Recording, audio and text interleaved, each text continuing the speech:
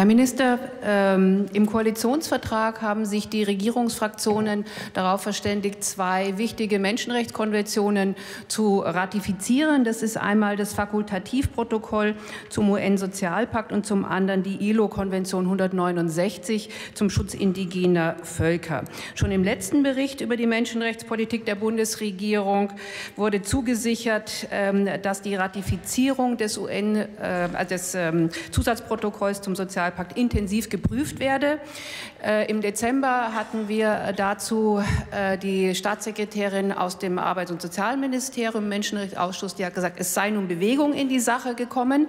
Bisher haben wir allerdings von dieser Bewegung nicht so viel gemerkt. Ich habe zwei schriftliche Fragen gestellt zum Stand äh, des Ratifizierungsverfahrens und habe eigentlich auch keine Antwort gekriegt. Und jetzt frage ich Sie, wie ist der Zeitplan für beide Prozesse, also Zusatzprotokoll und ILO ILO-Konvention und wann können wir mit einem Abschluss rechnen? Wie Ihnen in der Antwort auf Ihre Fragen bereits mitgeteilt wurde, ist das äh, gegenwärtig ein Teil der regierungsinternen Abstimmungen.